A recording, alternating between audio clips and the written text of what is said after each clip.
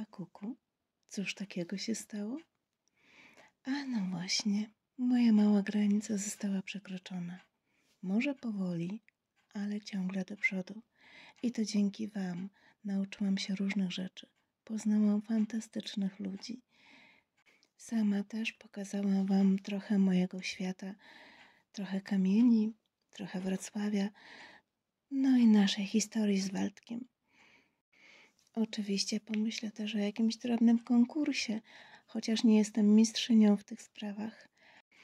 A teraz po prostu tak króciutko jeszcze raz dziękuję.